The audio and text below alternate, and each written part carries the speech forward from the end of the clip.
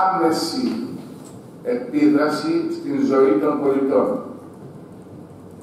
Είτε ως πρόβλημα δημόσιας υγείας, είτε ως πρόβλημα περιβαλλοντικής προστασίας, είτε ως πρόβλημα οικονομίας. Έχετε παρακολουθήσει όλες τις συναντήσεις που έχουμε κάνει με όλους τους φορείς, τους διεθνείς φορείς του τουρισμού. Ένα από τα σημαντικότερα ζητήματα που θέτουν είναι ότι ο τουρισμός και το τουριστικό μας προϊόν για να έχει την δεδομένη αξία και την ελκυστικότητα θα πρέπει οριστικά η περιφέρειά μας να λύσει το σημαντικό πρόβλημα της διαχείρισης, της ολοκληρωμένης διαχείρισης των αστικών αποβλήτων. Εντάχει, θα αναφερθώ λίγο στην ιστορία. Ο Φόσδα και οι δημοτικές αρχές αποφάσισαν ότι δεν μπορούν να διαχειριστούν από μόνοι τους το πρόβλημα και ζήτησαν την βοήθεια από την ελληνική πολιτεία. Η τότε κυβέρνηση μας ρώτησε εάν εμείς μπορούμε να αναλάβουμε την αρμοδιότητα αυτή. Και εμείς προσφερθήκαμε έχοντας ένα συγκεκριμένο πρόγραμμα το οποίο καινοτόμησε σε όλη τη χώρα προκειμένου να λύσουμε οριστικά και αμετάκλητα αυτό το πρόβλημα. Αυτό το πρόβλημα. Δεν ήταν δική μας η πρωτοβουλία.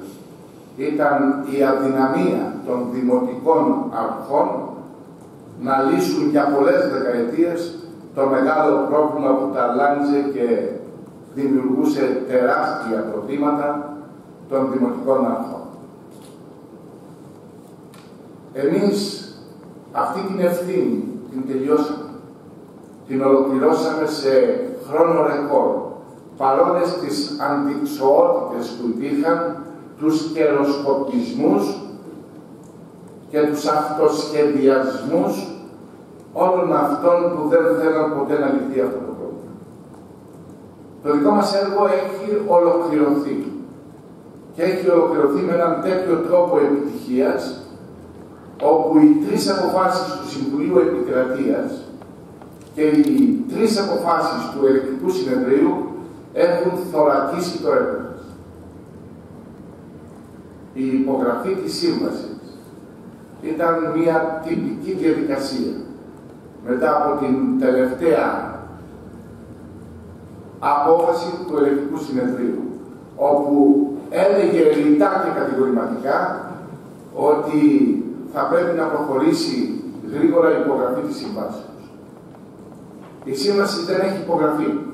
Και δεν έχει υπογραφεί γιατί, όπως γνωρίζετε πάρα πολύ καλά, σε ένα έργο ΣΔΙ απαιτείται και η υπογραφή από τον αρμόδιο Υπουργό Ανάπτυξης για την εγγύηση του δημοσίου.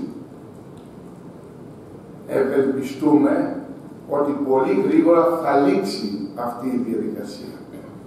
Βέβαια, με τα παραλυπόμενά της.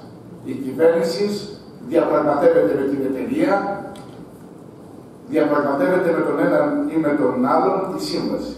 Αλλά είναι γνωστό σε όλους ότι η σύμβαση αυτή δεν μπορεί να αλλάξει. Ακούστηκαν διάφορα θέματα, οι οποίες ήταν προφάσεις εναμαρτίες. Πρώτα και κύρια ήταν πριν λίγο καιρό όταν επιβλήθηκαν τα πρόστιμα για την ανεξέλεκτη λειτουργία των ΧΑΔΑ από το Ευρωπαϊκό Δικαστήριο στις Δημοτικές Αρχές, οι δήμαρχοι των μεγάλων πόλεων της περιφέρειας Πελοποννήσου βγήκαν με έναν λόγο εξαιρετικά από πρόφαση να λένε ότι καθυστέρησε η υπογραφή της συμβάσεως. Μετά από λίγο καιρό άλλαξε αυτό το σενάριο. Το επιχείρημα των κυρίων Δημάρχων, όταν ο αναπληρωτής Υπουργός Περιβάλλοντος, ο κύριος Τσιρόνης, άρχισε να μπαίνει σε μια λογική και να τάζει χρήματα στους κυρίους δημάρχους και να κουνάει με το χέρι του τα Ευρώπουλα ως μαρουλόχαρτα,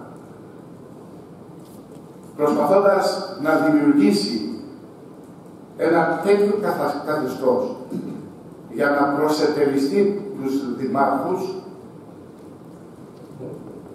υπήρξε η άλλη συμπεριφορά, η οποία λέει το εξής απλό πράγμα, ότι είναι ακριβή η τιμή.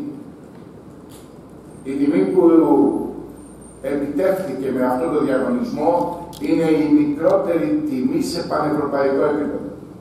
Το έργο που ουσιαστικά επιλέχθηκε είναι ένα καθαρά πράσινο έργο έτσι όπως το έχει κρίνει η, η Ευρωπαϊκή Επιτροπή αλλά και η ειδική περιβαλλοντική επιτροπή της Ευρώπης. Το κόστος είναι 61,70 ευρώ λεπτά ως η maximum τιμή του έργου. Το έργο αυτό, επειδή ακούω πολλούς δημάρχους να αναφέρονται σε αυτό το έργο, δεν το γνωρίζουν καν. Παρόλο που έχουν γίνει πάρα πολλές συναντήσεις, έχουν γίνει συναντήσεις και έχει ξεκαθαριστεί το έργο. Είμαι σίγουρος όμως, ακούγοντάς τους, ότι το έργο δεν το γνωρίζουν καθόλου. Το δεύτερο στοιχείο που είπαν ήταν η ελάχιστη εγγυημένη ποσότητα. Όταν στον καινούριο έσδα του νέου Υπουργού, το έργο αυτό στην εγγυημένη ποσότητα που προβλέπουμε 150.000 τόνους ανά έτος ως ελάχιστη εγγυημένη ποσότητα για να μπορέσει να λειτουργήσει το μοντέλο αυτού του έργου, το προσδιορίζει στις 143.000 τόνους χωρίς να συμπεριλαμβάνει και την τουριστική περίοδο η οποία δημιουργεί επιπλέον ζητήματα απορριμμάτων. Από την άλλη πλευρά, αγνοεί ότι στην περιφέρεια Πελοποννήσου υπάρχουν ένα εκατομμύριο τόνοι βιομηχανικά απόβλητα τα οποία διαχειρίζονται κατά τον τρόπο της ολοκληρωμένης αστικής διαχείρισης. Όλα αυτά τα θέματα έχουν να κάνουν με μια λογική η οποία εμφανίστηκε καταρχάς ότι ο κάθε δήμαρχος μπορεί να κάνει την δική του διαχείριση, κάτι που ξέρετε ότι απαγορεύεται από όλες τις ευρωπαϊκές διρεκτήρες. Όλες οι ευρωπαϊκές οδηγίες αποκλείουν μια τέτοια λογική. Ευτυχώς που το κατάλαβαν και άλλαξαν πλέον νότα και ουσιαστικά κατευθύνονται στην δική μας, στο δικό μας μοντέλο.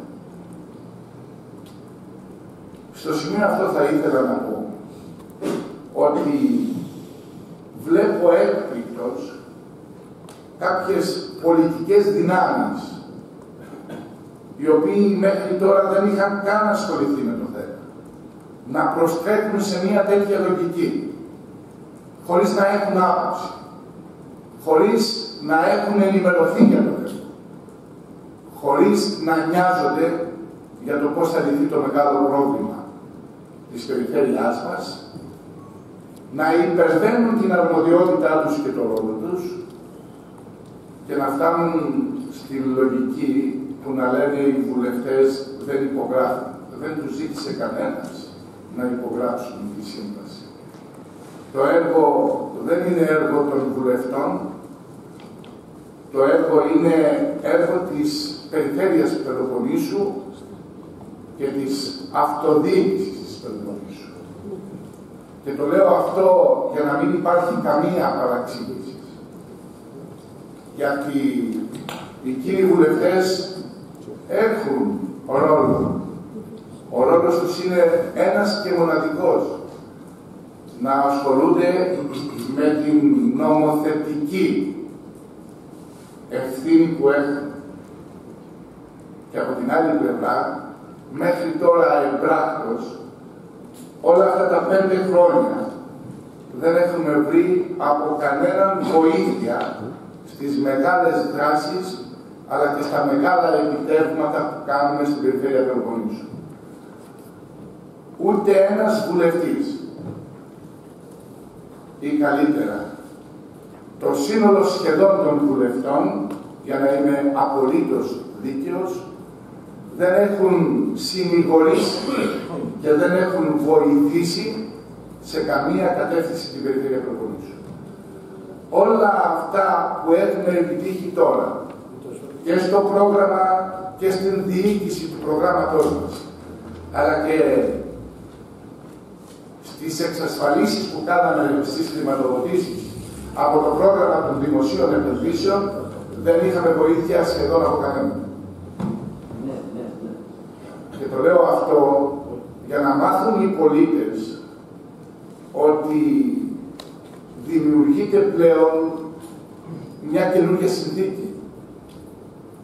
Οι βουλευτές που δεν μοιάζονται για τον τόπο τους, που δεν βοηθούν τον τόπο τους, μπορεί να γίνονται αυτόκλητοι κατηγοροί στην προσπάθεια που κάνει η Περιφέρεια. Για να ξεκαθαρίσουμε το ζήτημα. Μιας και εκτιμώ ότι είναι ένα μεγάλο θεσμικό πρόβλημα. Αυτή η χώρα για να προχωρήσει μπροστά θα πρέπει εξαιρετικά να σέβεται το θεσμικό πλαίσιο και το θεσμικό ρόλο του κάθε θεσμού που δραστηριοποιείται. Οι κύριοι βουλευτές δεν έχουν κανένα ρόλο στον τρόπο που εμείς δημιουργούμε τον στρατηγικό σχεδιασμό. Και να σας πω και ένα παράδειγμα. Τους έχουμε καλέσει κάθε επανάληψη, όπως τους καλούμε συνεχώς. Και να τους ενημερώνουμε και να παρευρίσκονται ως οφείλουν να κάνουν στις ε, συνεδριάσεις του Περιφερειακού Συμβουλίου. Σπάνια, λίγοι και μόνο λίγοι έχουν ανταποκριθεί σε αυτό το κάλεσμα. Θα ήθελα να ξεκαθαρίσω και κάτι άλλο. Ότι σε αυτή την προσπάθεια που κάνουμε έχουμε σύμμαχους μας τους πολίτες. Έχουμε σύμμαχους μας αυτούς που δίνουν την εντολή. Και πάνω απ' όλα όλοι εμείς εδώ της περιφέρειας Πελοποννήσου αισθανόμαστε υπερήφανοι γιατί τηρήσαμε στο ακέραιο τις προεκλογικές μας δεσμεύσεις. Δεν κρύψαμε από κανέναν πολίτη το τι θα αναλαμβάναμε ως υποχρέωση, ως καθήκον, απέναντι στην προσπάθεια που κάνουμε ώστε η περιφέρεια Πελοποννήσου μετά από πολλές δεκαετίες μαρασμού να πάρει την θέση που ιστορικά πολιτιστικά και πολιτικά της ανήκει. Και γι' αυτό είμαστε υπερήφανοι.